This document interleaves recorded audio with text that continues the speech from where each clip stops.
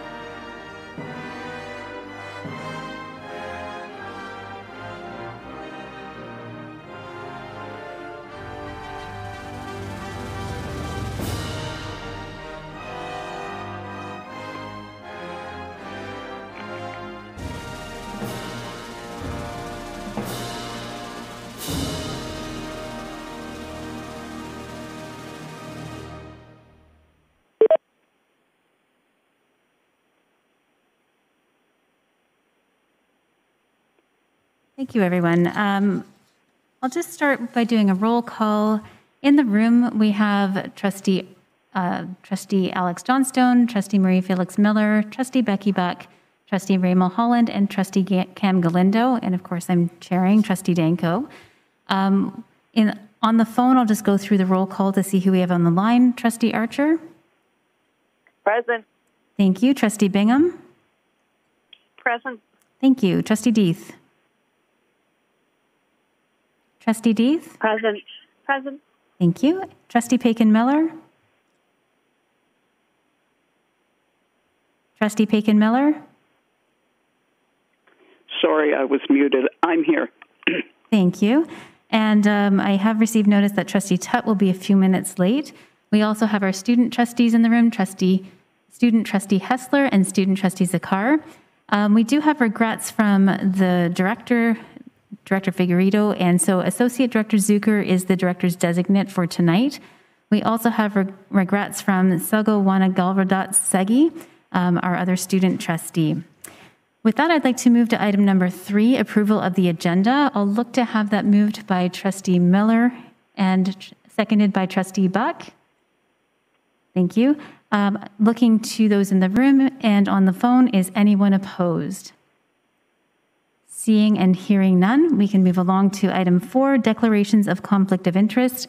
Are there any declarations of conflict of interest for this meeting, noting I haven't received any in writing? Seeing none in the room on the phone? Hearing none. Um, item five, we have correspondence from Jay Weresch regarding the relationship between the HWDSB and the Canadian Forces and the practice of writing letters.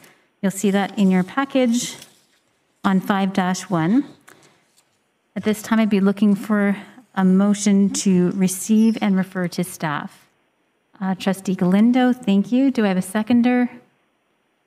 Trustee Miller, thank you. Are there any questions for clarification?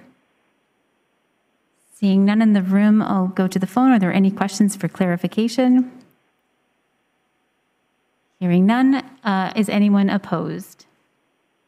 Again, looking in the room. Seeing none, and on the phone, is anyone opposed? Hearing none, that passes. Thank you. Uh, moving on to reports from trustee special committees. Our first item, number six, is the program committee from November 30th, 2020. I will turn that over to the committee chair, Trustee Buck.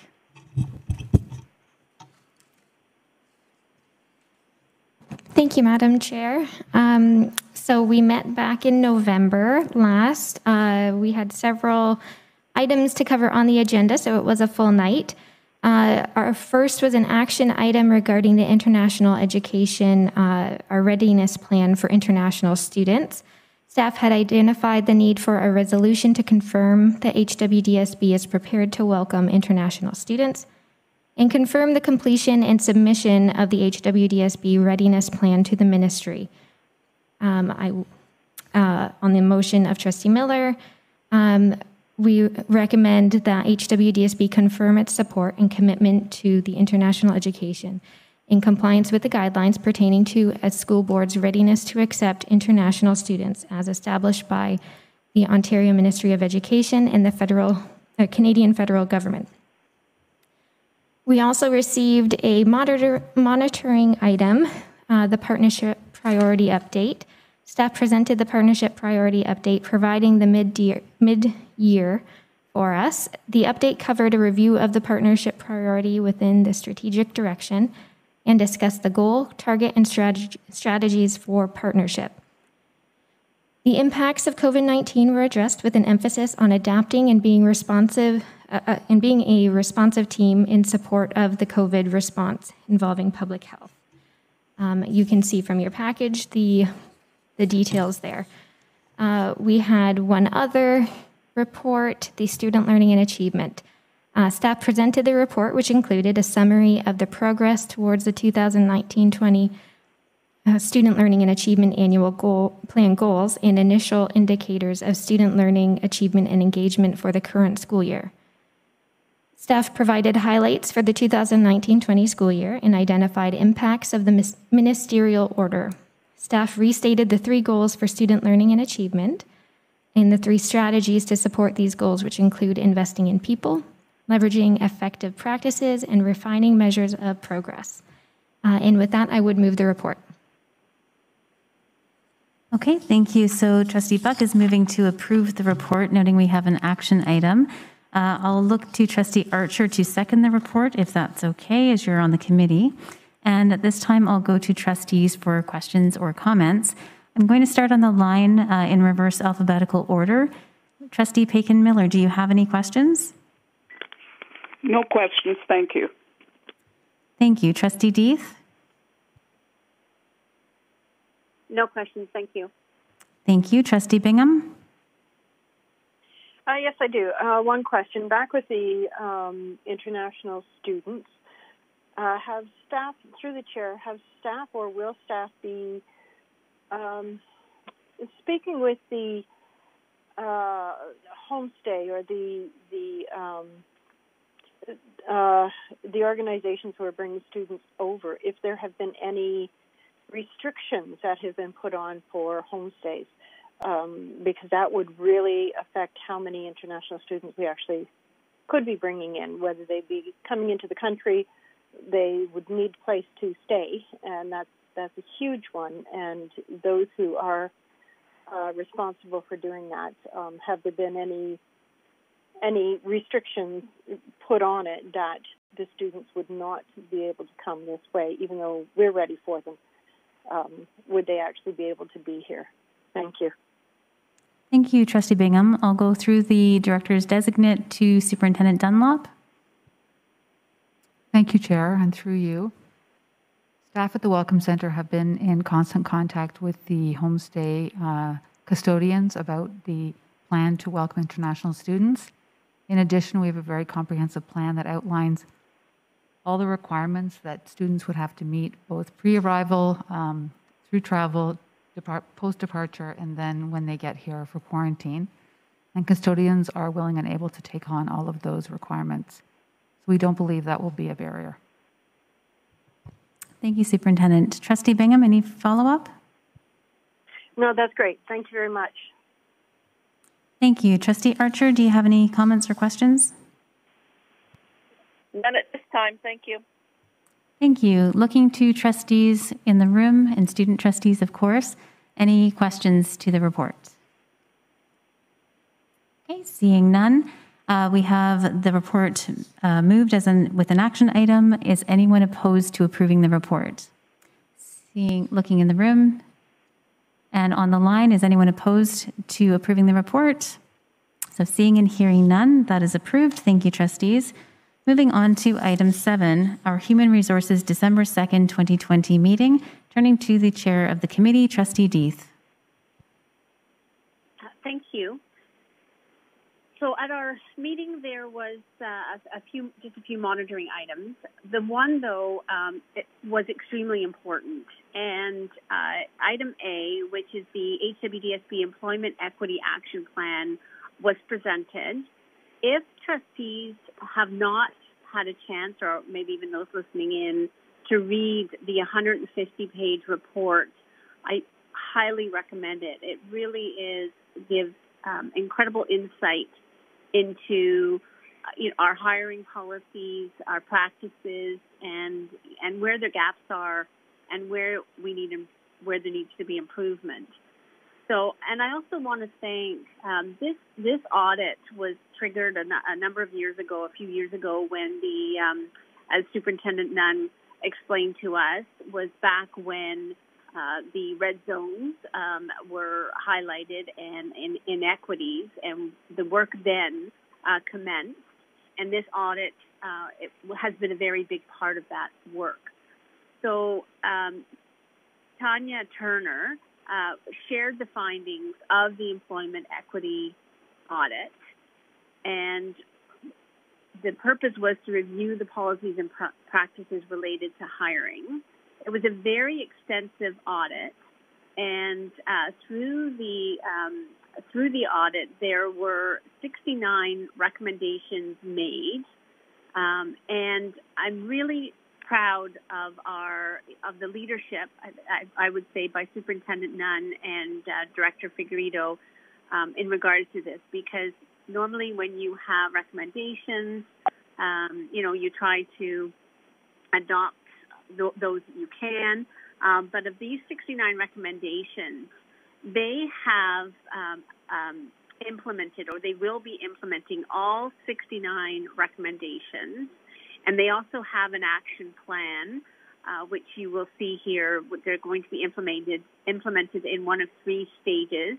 Uh, January to June 2021, July to December 2021, and January to June 2022. So again, um, kudos to staff. It, it's a huge undertaking. It really is an enlightening audit, um, important work that's taking place.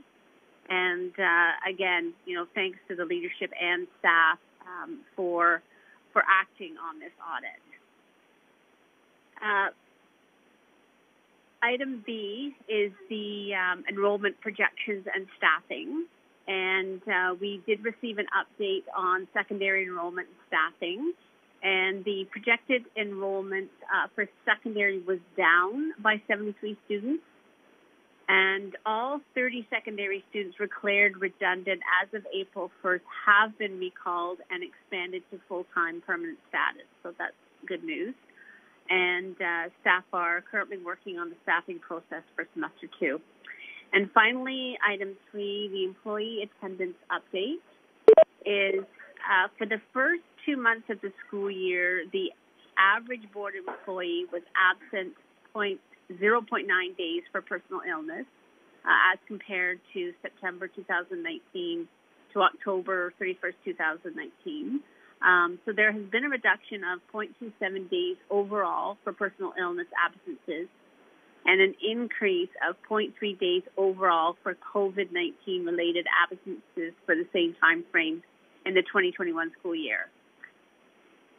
Uh, through the reopening, Employee Support and Wellness continues to implement the attendance management program and early intervention program to promote staff well-being. And uh, with that, I'll remove I'll move the report. Thank you. Thank you, Trustee Deeth. Um, so that's moving to receive the report. And I'll look to uh, Trustee Paikin Miller as the seconder. Uh, just noting that Trustee Tut has just joined us on the line. Trustee Tut, can I get you to confirm that you're with us? It's me. Hello, everyone. Thank you. Um, okay, so at this time, I will go to trustees starting in the room uh, to see if there are any questions or comments on the report.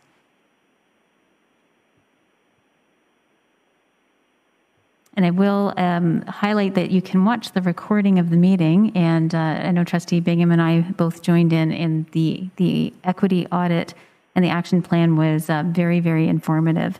I'm going to trustees on the line to see if there were any questions. So starting alphabetically at the beginning with A, Trustee Archer, do you have any questions? Nothing. Nothing. Thank you. Thank you, Trustee Bingham. No questions. Thank you. And uh, Trustee Paikin Miller No questions, thank you. and Trustee Tut. No questions. Thank you. Thank you. So to the motion to receive the report, is anyone opposed? Looking in the room, seeing none on the line, is anyone opposed? Hearing none, that passes. Thank you. We'll move along to item number eight, our policy committee report from December the 9th, 2020. Um, Turning to the committee chair, Trustee Miller. Thank you very much, and I'm happy to br- bring forward tonight the report for the policy committee that uh, took place last Wednesday evening. Uh, We had several action items on the agenda on Wednesday. Um, The first was in regards to the education development charges policy, alternative accommodations for school facilities and school sites and operating budget. The committee uh, considered the economic, excuse me, the education development charges, EDC, um, specifically with regards to the alter- alternative accommodations for school facilities and school sites operating budgets. They were up for their cyclical uh, review, and uh, since the provincial government has actually removed uh, the legislation for the requirement uh, around these policies, staff uh, noted that our current EDC policies are in effect. However, the guidelines being developed by the ministry have not yet been released uh, to our school boards. Our new guideline, guidelines will be updated and brought back to policy for consideration once the ministry has updated their legislation. On the motion of trustee Galindo, we uh, approved the recommendation that the EDC ch- charges in the, excuse me, charges be uh, rescinded immediately. Item B, uh, the advocacy expenditures, policy. The committee, committee considered the advocacy expenditures policy. The policy was up for its uh, typical cyclical review. And uh, as of now, there are no uh, legislative changes um, or any new requirements for this policy. There was a clarification around uh, what is considered a school-generated fund versus a school council fund. Um, and it was noted that school-generated funds refer to funds being taken in by the school, for example, school excursions or the lunch program, whereas school council funds under the Act have a separate account and would involve specific fundraising activities. On the motion of trustee Buck, the policy recommends that the advocacy expenditures policy be approved, and that was also carried unanimously. Uh, We also reviewed recruitment and selection policy. The committee considered the rec- recruitment and selection policy.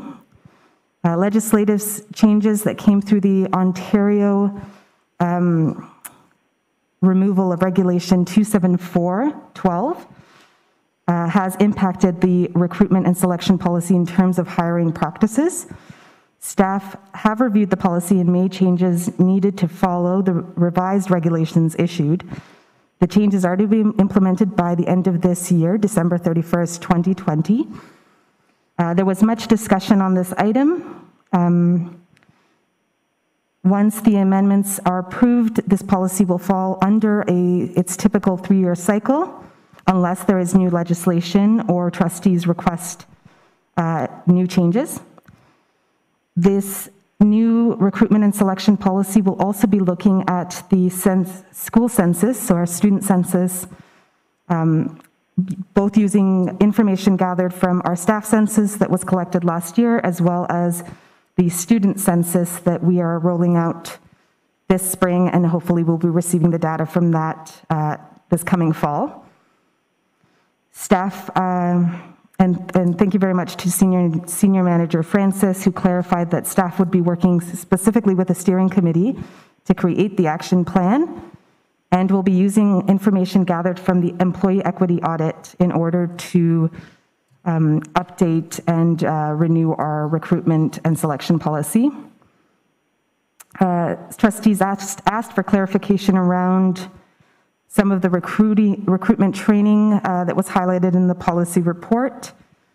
And uh, staff manager Francis highlighted that uh, a, a variety of training will be provided to supervisors who are conducting interviews and hiring, including in-person, in-person, virtual, and hiring toolkits from the entire organization in order to have full transparency that will also include anti-oppression and anti-racism training for supervisors.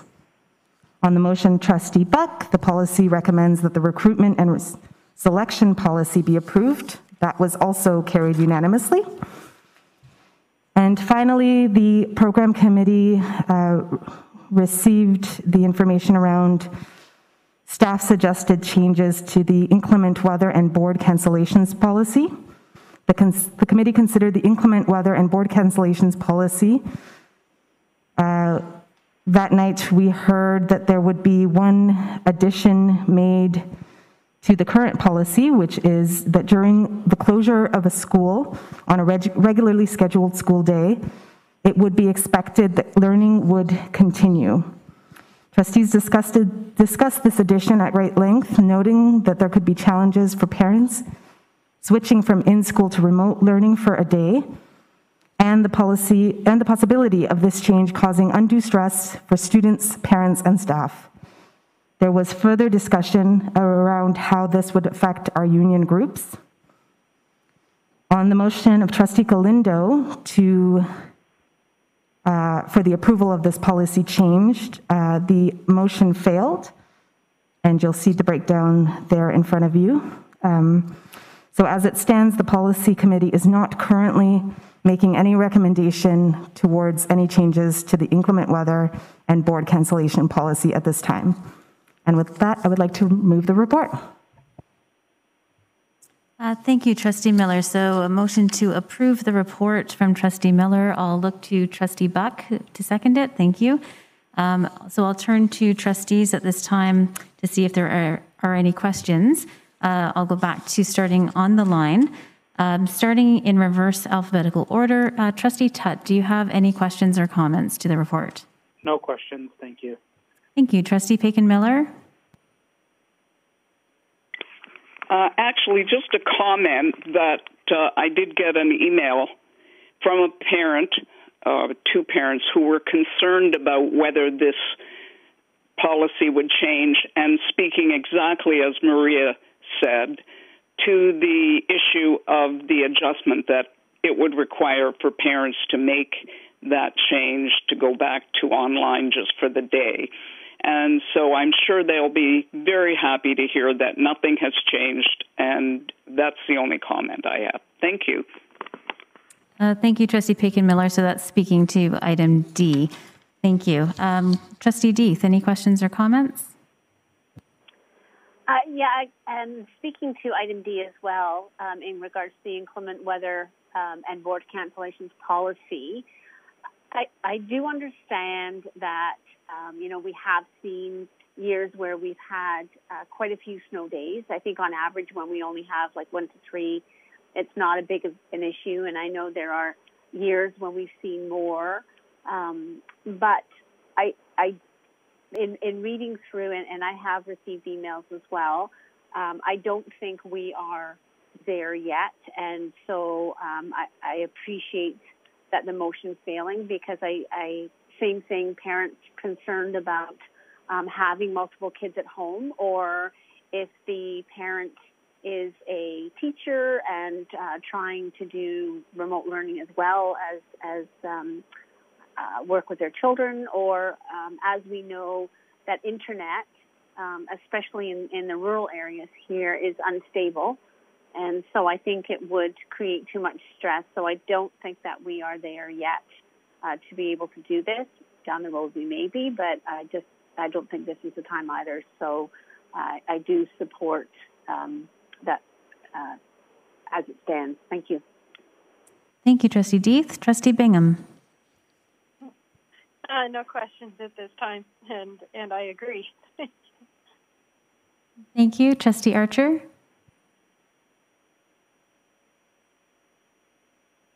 Nothing at this time. Thank you. Thank you. Turning to trustees and student trustees in the room, do you have any comments or questions to the report? Trustee Johnstone? Thank you. Um, just one, I guess, one comment first, uh, and then a question. So, uh, speaking to item D, the inclement weather um, policy, I do want to note that uh, over the weekend, I did receive a number of emails as well as tags on uh, social media from parents uh, expressing their desire not to have any changes to the policy and and um, uh, expressing the fact that many families were feeling very overwhelmed as it was this year and the thought of adding additional work during a snow day uh, when parents had their own work responsibilities um, or having to arrange childcare that would um, facilitate, I guess, uh, the completion of additional work on or or schoolwork on a snow day was uh, was deemed to be very much a challenge to parents. So I want to recognize that parent voice that reached out uh, to myself. Uh, and as such, um, I certainly support the recommendation of the committee.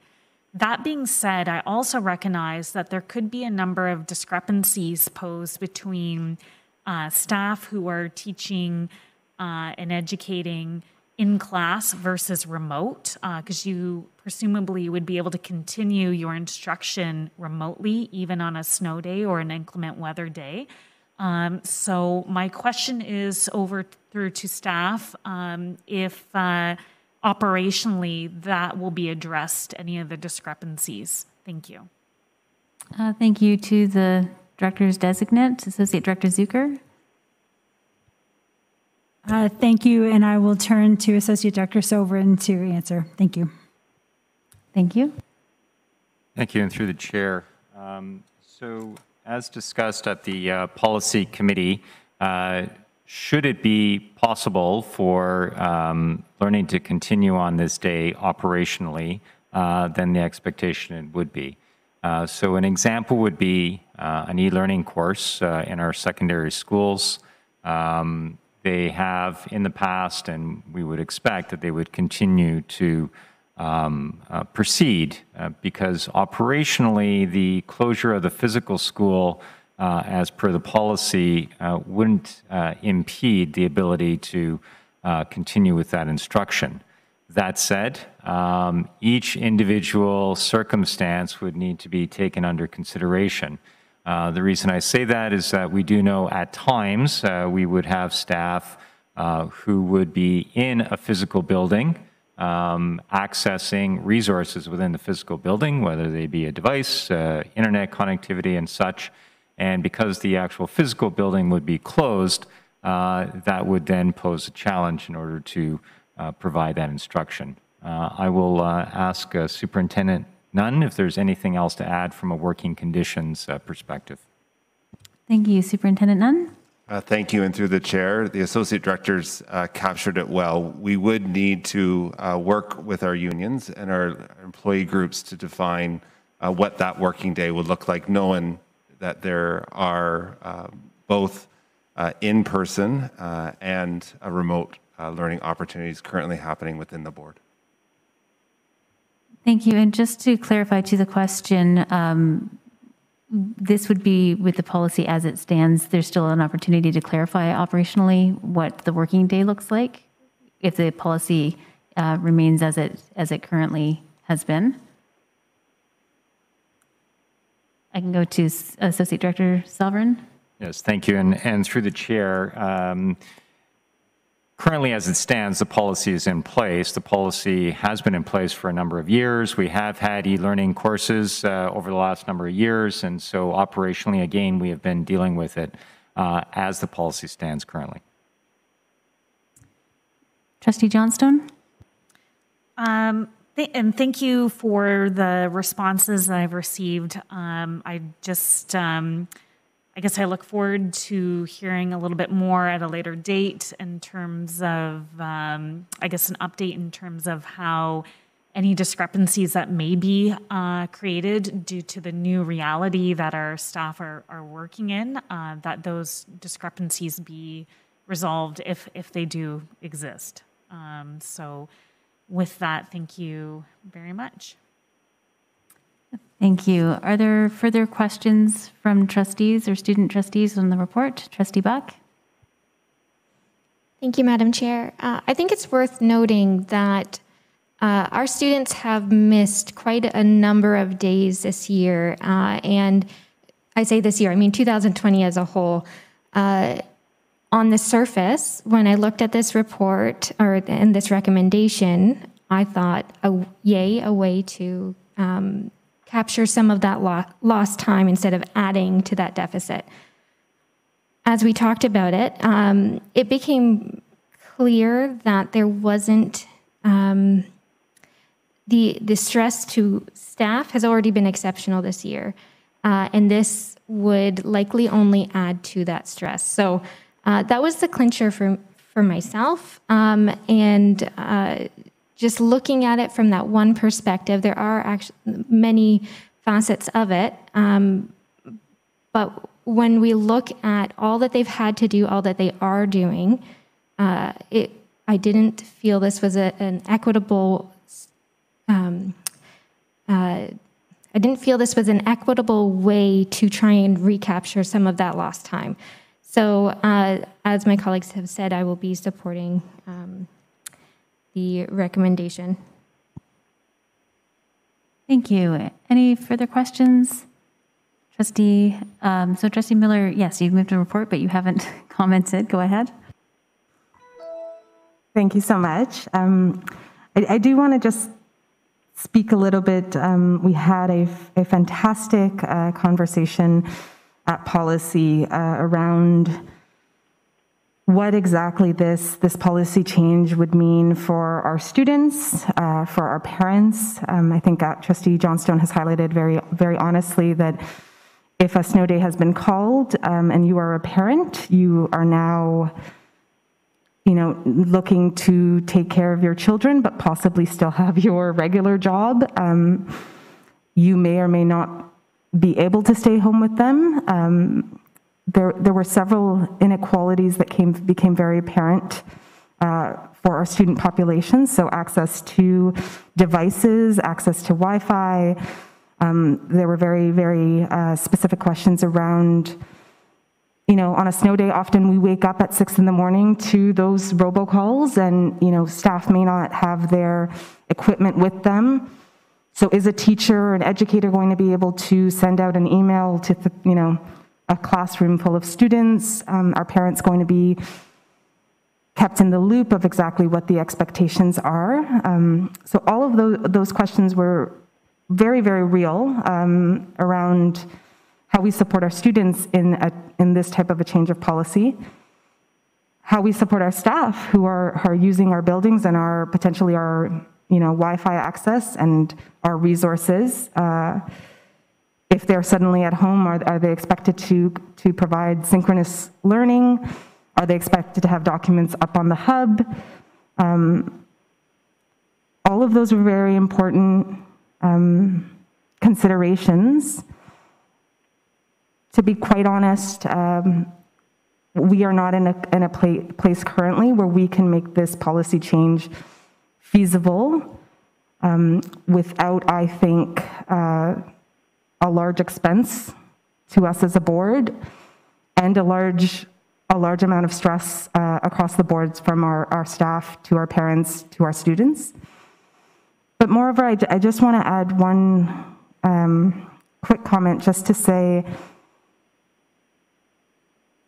in my opinion, I'm, I'm also very concerned around making this level of a policy change during a time of crisis or emergency. Um, I don't think that we should set a precedent as a board uh, to sign on for these types of changes in moments where we are still kind of in a panic mode, frankly. Um, we're still navigating uh, COVID 19 and what this has all meant uh, for everyone in our community, in our various communities. Um, so that was that was one of my my very real concerns with this. Um, but then, as we we kind of broke it all down from a practical standpoint, I think it is fair to say we're not there yet. We may be there one day, but as it stands now, um, we I personally don't think that we can we can take this on at this moment. So um, I very much respect what what folks have shared here today, uh, and that discussion Wednesday night definitely got me thinking about it from a variety of angles. But uh, that's just my comment. Thank you. Thank you, Trustee Miller. And seeing no further comments in the room, I do have a question actually on item C, um, and I'll I'll go through the director's designate to, I guess, Associate Director Sovran. Just on item C, um, I, I know that we discussed this at the policy committee. I was able to join in, um, but there aren't particular references to seniority in the policy, and that would likely belong in our procedure. Um, is that all captured through our collective agreements where seniority is honored uh, when, when people are hired for different positions? Thank you. And through the chair, actually, I'll defer that question to Superintendent Nunn uh, as uh, Human Resource Services. Thank you. Superintendent Nunn. Uh, thank you. And through the chair, uh, through the policy, uh, through the procedure, excuse me, um, we will reference our local collective agreements. And further to that, um, we'll also honor our local collective agreements as it relates to um, hiring our hiring practices for both in both elementary and secondary uh, over and above the procedure through the work that we'll do with administrators. Thank you. Okay, at this time, we'll look for a vote to approve the report. Um, looking to trustees in the room, is there anyone opposed to approving the report? Seeing none on the phone, is anyone opposed to approving the report? Hearing none, that is approved. Thank you. Okay, moving on at this time to reports from legislative committees. Item nine is our Special Education Advisory Committee from November 25th, 2020. Uh, Trustee Buck, are you able to bring that report? Thank you, Madam Chair. So, uh, my last night with SEAC uh, was um, the end of November, or sorry, last week. Um,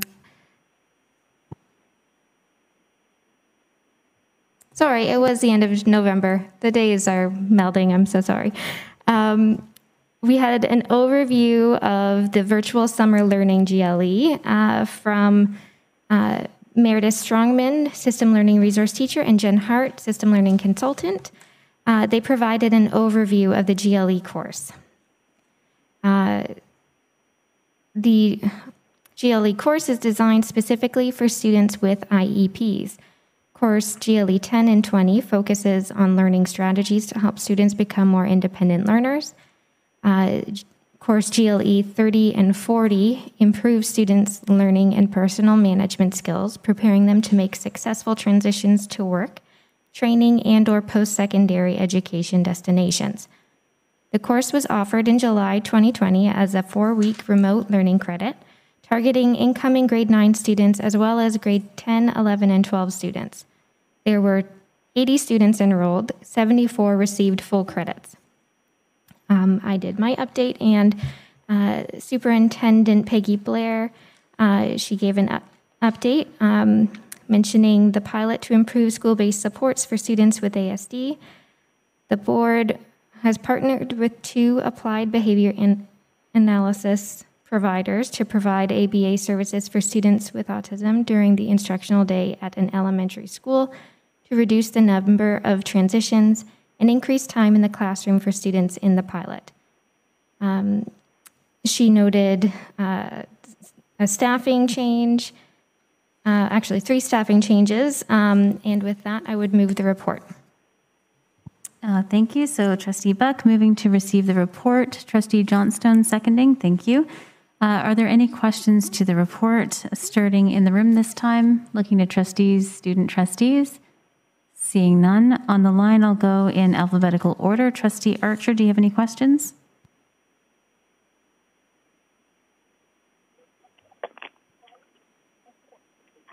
Trustee Archer?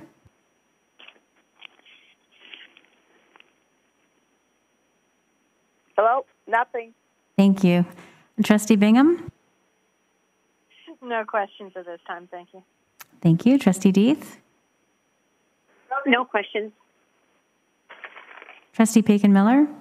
No questions. And Trustee Tut? No questions, thank you. Thank you. Uh, So with that, the report is moved. Uh, Motion to receive. Is anyone opposed? Looking in the room. Is anyone opposed to receiving the report on the line? Seeing and hearing none, we can, that that's approved, and we'll move along to item number 10, the French as a Second Language Advisory Committee. And I'll just remind trustees on the line to mute yourselves for now. Uh, Trustee Johnstone, are you able to bring forward the report for French as a Second Language Advisory Committee?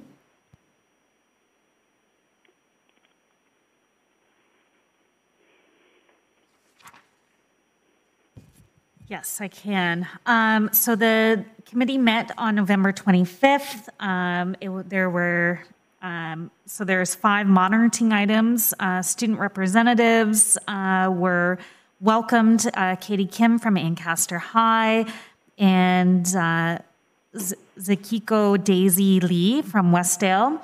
Um, as well, there is a review of the 2020 2021 work plan.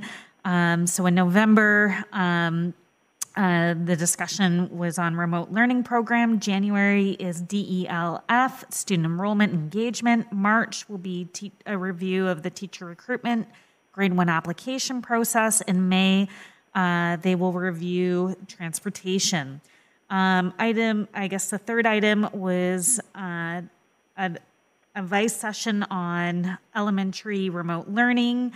Um, following that, there was program presentation on digital French as a second language resources, and finally there was updates uh, from uh, the various members, and that completes the report. Thank you. So trustee Johnstone moving to receive the report. I'll ask trustee Tut to second that. Um, And going to trustees to see if there are any questions or comments. Uh, Start with you, trustee Tut. No questions, thank you. Thank you. Trustee Paikin Miller. No questions, thank you. Trustee Deeth. No questions, thank you. Thank you. Trustee Bingham. No questions, thank you. And trustee Archer. No questions, thanks. Thank you. Looking to trustees and student trustees in the room. Are there any questions? Trustee Buck? Yes, thank you. I'm looking at uh, item C, advice session around elementary remote learning. It says no advice was provided. Um, could we have a little clarity around where the conversation had gone? I can't assume that we have got it 100% right yet. So, uh, uh, through the chair. Uh, Thank you. Through the uh, director's designate, I believe to Superintendent Dunlop, if she was at the meeting. Uh, No? Superintendent Torrance. Oh, sorry, Superintendent Torres, Torrens. Uh, and through the chair, we, uh, we, ha- pardon me, uh, staff did present a high-level overview of the uh, history of um, uh, remote learning uh, up to the end of November, uh, and spoke to the type of programming uh, both in French immersion and core French. Uh, there were a, number of questions taken by staff, some conversation. However, the at this point, the committee uh, had not made any recommendations or provided any advice on how programming could be improved. However, I will note that um, the digital resources uh, in item D uh, came back to uh, remote learning, uh, or remote learning was referred to. Uh, and uh, as noted, the committee very much so wanted to ensure that the remote or the digital resources available in remote learning were available to all educators. Thank you, Trustee Buck. A follow up? No further questions. Thank you for that clarification, Superintendent Torrance. And thank you. So seeing no further questions uh, to the motion to receive the report, is anyone opposed? Looking in the room? On the phone, anyone opposed? Seeing and hearing none, that's approved. Uh, next, we'll move along to reports from the Standing Committee from December 7th, 2020. I'll turn to Vice Chair Galindo to bring forward the report. Thank you, Madam Chair. Uh, in front of trustees, they should have the committee report for standing committee that took place last Monday. Uh, aside from approval of the agenda, no declarations of conflict of interest were declared. Uh, trustees received a report from staff on transportation where staff presented um, the transportation report currently uh, in the procurement process to renew the contracts that are expiring at the end of August 2021. Uh, the current school year was the 12th start off for HWSTS. The report provided a preliminary overview of the student transportation solution for the current school year, uh, including a number of highlights, metrics, comparisons to prior school years, and overview of key accomplishments from the previous school year. Of course, the biggest challenge for the start of this year was the bus driver shortage, which was uh, which also affected multiple school boards and consortiums across Southern Ontario. The shortage was increased by drivers who did not return as a result of COVID 19. Uh, there were 22 open routes that became part of the rotating cancellation plan starting at the end of September. This number was then reduced to five open runs at the end of November. Uh, there were an additional 1,000 students requiring transportation in September due to an increase in enrollment, uh, including schools under construction that required new students to be bused uh, to the holding locations. Uh, there will be new schools opening next month that will also require additional transportation. HWSTS staff has worked diligently with school staff and bus operators to assist in any way possible to offer temporary routing, uh, routing suggestions, solutions, communications to help minimize the impact on students and schools. In addition, the organization slash consortium has worked with a consultant to consolidate returns and reduce the number of routes. Staff also transferred routes from providers that were experiencing more shortages to other providers. So on the motion of Trustee Bingham, seconded by Trustee Miller, Standing Committee recommends that the transportation report be received. That was carried unanimously. Back to you, Madam Chair. Thank you, Vice Chair Galindo. And so that's a motion to um, receive the report. I'll look for a seconder. Trustee Beck, thank you. Um, at this time, are there any questions to the, the report? Uh, I do have one update that trustees might like to hear from um, Associate Director Zucker if you'd like to share that to start. Uh, thank you. And through the chair, I just did want to let trustees know that as of today, all the rotating cancellations are complete.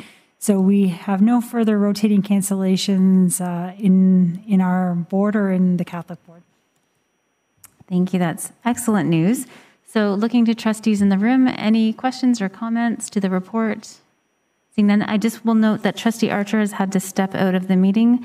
Um, she'll let us know when she's back. Uh, on the phone, Trustee Bingham, do you have any questions? No questions. Thank you. Thank you. Trustee Deeth? No questions. Thank you. Thank you. Trustee Paikin Miller? No questions, thanks. Thank you. And Trustee Tut? No questions, thank you. Thank you. To the motion to receive the report, is anyone opposed? Looking in the room, seeing none on the line, is anyone opposed to receiving the report? Hearing none, that passes. Uh, next item, 11B, Trustee Galindo, can you bring forward the Committee of the Whole private session from earlier this evening? Yes, thank you. Through the chair, it is my pleasure to present the report of the private session of the Committee of the Whole held earlier this year. It's a very extensive report. The Human Resources Committee report from December 2nd be received. That concludes my report. Back to you, Madam Chair. Thank you, and I'll look for a seconder from the phone. Uh, Trustee Bingham, if that's okay. So at this time, any comments or questions to the report from Committee of the Whole? Seeing in the room there are none on the line. Okay, is anyone opposed to receiving the report or approving the report? Seeing no one opposed in the room, on the line, anyone opposed? Okay, seeing and hearing none, that is passed. Next, I will turn the chair over to Vice Chair Galindo. Thank you, Madam Chair. We will now move to item 12, which is a written notice of motion, and I will turn to Chair Danko for um, that. Uh, Thank you. Trustees We'll see on page 12-1 a notice of motion, and I will read through this.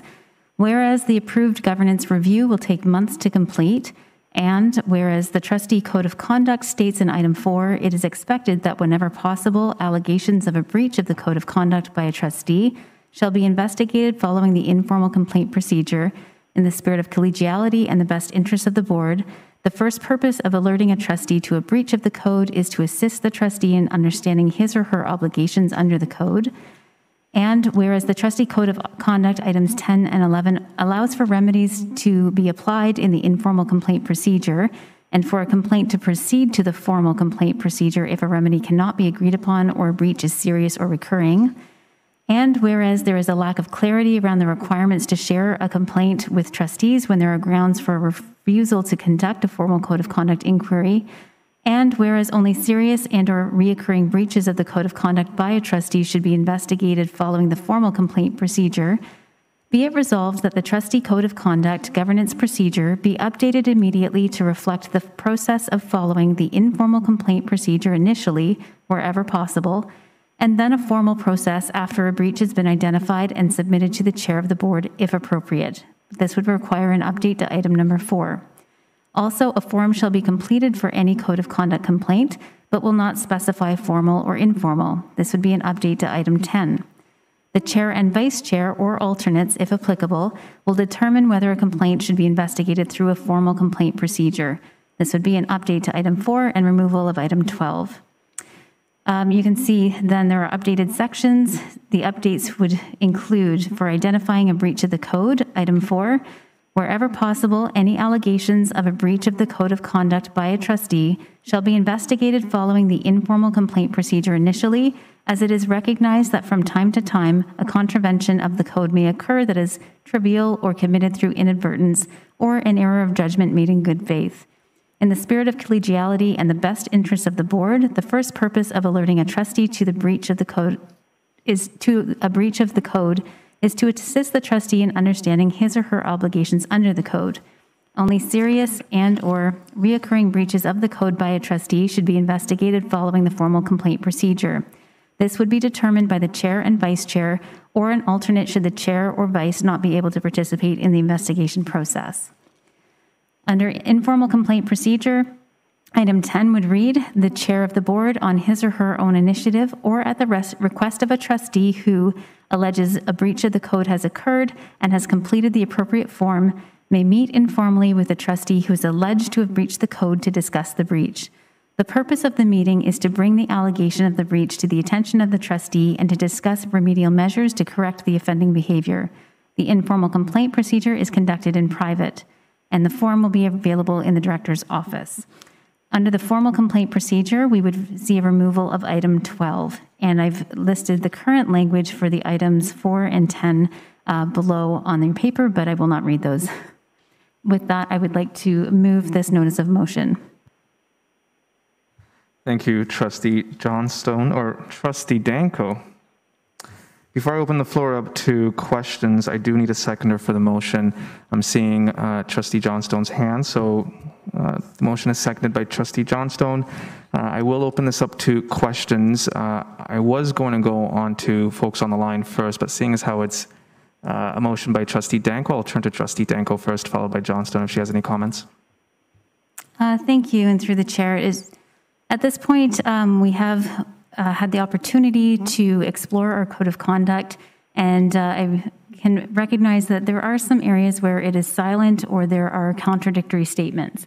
And the contradictory statements, I think, have been highlighted in the, in the notice of motion where I'm seeking to see a change.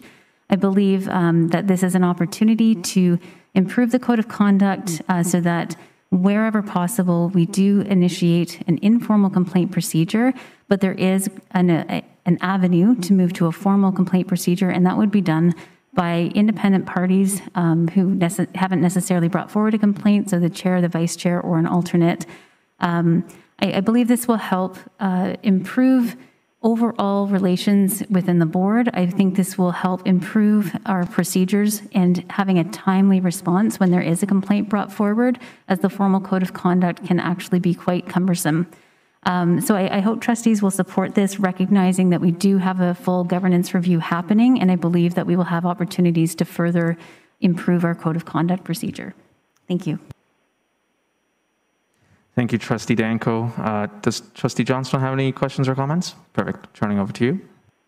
Thank you. And through the chair, um, as uh, the mover of the motion for the governance review, I fully support um, the immediate changes to our code of conduct. And our code of conduct, of course, lives within our, our board governance. Um, I want to highlight that uh, the code of conduct is owned collectively by the board. Therefore, it is appropriate for the board to collectively direct the process rather than having a single trustee direct the process. Um, I think that this, uh, these improvements to the code of conduct process helps us to focus on resolution as a board of trustees and aligns with the spirit of the code of conduct. Thank you. Thank you, Trustee Johnstone. I'm looking for other trustees in the room to see if there are any questions or concerns before I open it up to folks on the phone. I'm looking at Trustee Miller. Go ahead. Thank you, Trustee Galindo. Um, just one question. Acknowledging that we are looking to conduct our full governance review, specifically uh, one that looks at our rule book from an anti-racism, anti-oppression uh, framework, um, hopefully this year or sometime in the very near future, um, would we then be able to re-review these current items? So I'll turn to Trustee Danko. Uh, yes, through the chair, that would be absolutely the intention that a full review and revision could be done at that time. Trustee Miller. Thank you so much um, for that clarification. I, I will say, um,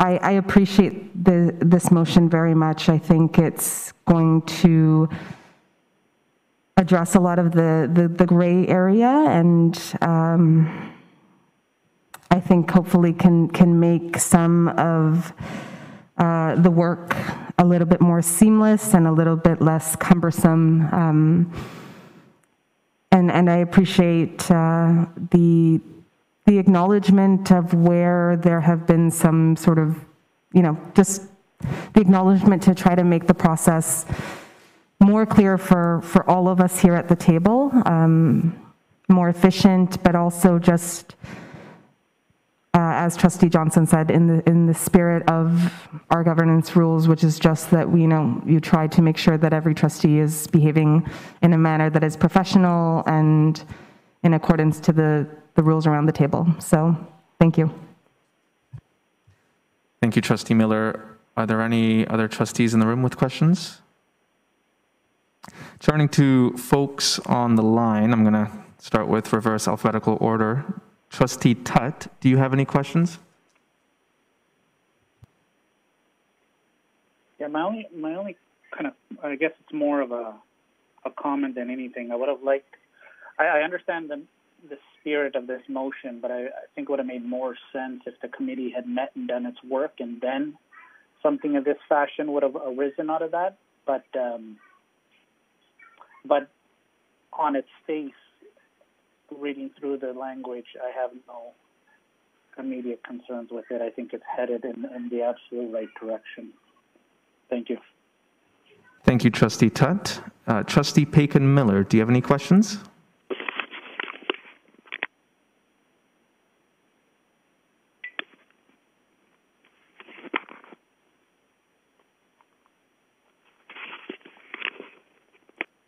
Trustee Paikin Miller?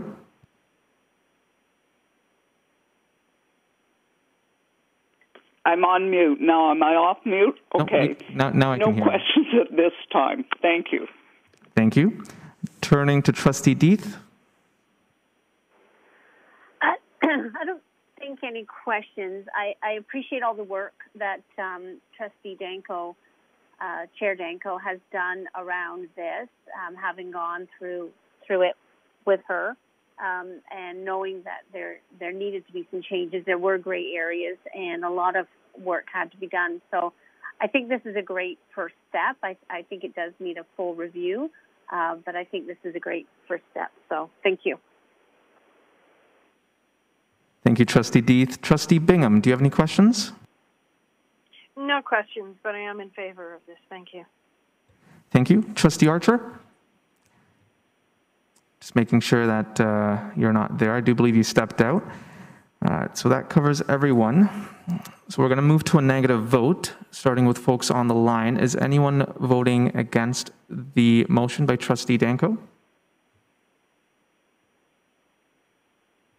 Hearing none, I'm looking at trustees in the room to see if anyone is voting against. Seeing none, the motion is carried unanimously. Thanks so much, everybody, and I'm turning the chairhood back to Danko. Uh, Thank you. So at this time, we'll move on to item 13, oral reports, and the most exciting one always is our student trustees report. Student trustee Zakar? Thank you, and through the chair. For both uh, secondary and elementary student senate, we have outlined our year's goals, which focused on student health and success. Following the break, we will begin to map out strategies to achieve our goals and put those into motion. In addition, Secretary Senate uh, previously met with Public Health, where student feedback was attained in order to create signage for teens regarding COVID 19. Secondary Senate also met with the Safe Schools and Bullying panel to review their draft recommendations for their final report. At this time, we currently don't have any uh, upcoming events with OSTA-AECO. Thank you. Thank you. Are there any questions from trustees in the room or comments? Trustee Johnstone? Um, I'm just curious what the feedback was from Student Senate with both uh, to public health as well as to the bullying uh, review. If you could just provide a couple of highlights, that would be much appreciated. Thank you. Student trustee Zakar? Thank you. Um, in regards to public health, the suggestions given by the students were how how likely uh, high school students were to respond to the rules and regulations set out. And for um, the Safe Schools and Bullying panel, the suggestions were the in regards to the priority of some of the draft recommendations, so which were the most uh, relevant and highly important. Thank you. Trustee Johnstone? Thank you. I might connect a little bit more offline. I think um, student voice in both of these areas, um, I appreciate, uh, I guess, the feedback from the Student Senate because they should be the driving force behind, behind both. So thank you. Thank you. Any other comments in the room? Okay, going to those on the line. Trustee Bingham? Any questions or comments? No comments, no questions. Thank you. Thank you. Trustee Deeth? Uh, no questions. I, I think, sort of along the lines of what uh, Trustee Johnstone was saying, is um, in regards to maybe getting more um, uh, feedback from students around the, the Safe School review. Um, it, it would be, uh, I think it would, would help us. Um, I'm, I'm assuming, maybe a question, was, was that voice captured, I'm assuming, by the uh, by the committee, and will that be brought back to trustees as part of the review? I'm not sure if their student trustees can answer that. Uh, student trustees Zakar, are you able to comment? Uh, at, we don't know whether um, that information will be brought to the. We can certainly take that question away and make sure that we have an answer for tomorrow. Anything further, Trustee Deeth? No, thank you, and uh, and thank you to our student trustees. It's it's a difficult year for them, and appreciate how hard they're working to continue to support students. So thank you. Thank you. Trustee Paikin Miller? Yeah, I have no questions. Thank you. Thank you. And Trustee Tut? No questions. Thank you. Thank you. And thank you to both of our students again for all of the work that you've been doing and making it work in this unusual time. Hopefully, there will be some events planned that you can participate in in the new year. Uh, next, we will move along to the director's report. Uh, so, to our director designate, uh, Associate Director Zucker, do you have any comments? Uh, thank you. And through the chair, I couldn't sit here and not say anything. So uh, I'm excited to bring this forward. I just wanted to highlight that uh, this past month, uh, we've been working on the board annual plan so that we can establish uh, clear goals and targets for our five priorities. We will be sharing the plan at the June 13th System Leaders Meeting. And again, this is all happening as we continue to support our staff and students through many COVID 19 challenges. Uh, the next thing I wanted to highlight, excuse me, was that our revised budget is due to the ministry this week. And as a result of the stabilization funding, we will be submitting a budget that does not require ministry approval, um, and will be we will be bringing an update uh, to trustees at the, the Thursday, December 17th Finance and Facility uh, Committee meeting. So this Thursday, we will give an update as to exactly where we are. But again, the good news is that we will not be over the 2% um, of our operating um, allocation, which means we do not need any further ministry approval. And lastly, and most importantly, I want to acknowledge that this is Superintendent Jeff Gillies' last official board meeting. Uh, Jeff, has, as we know, is retiring, has served the students in, in, of HWDSB tirelessly for the last five years. Valued member of EC's hard work, dedication, knowledge um, will definitely be missed. Uh, Estella, who's Stella Jones, she's currently the principal of Ryerson, will be the new um, Family of Schools 1 superintendent. And we do look forward to welcoming her to the team in January. And although this is a little bit more difficult to do remotely, but please join me in congratulating Jeff and wishing him all the best. So perhaps you can turn on a microphone.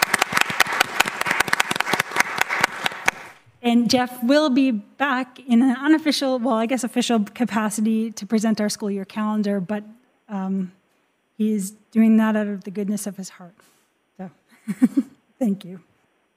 Uh, thank you very much for that update, and uh, congratulations to Superintendent Gillies on on um, retirement. I, I, think, yep, and uh, certainly you'll be missed. But we're we're glad you can't stay away, and you're coming back for the school year calendar.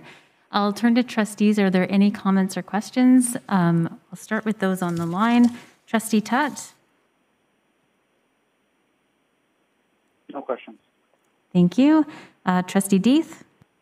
Sorry, Trustee Paikin Miller. Yes. Um,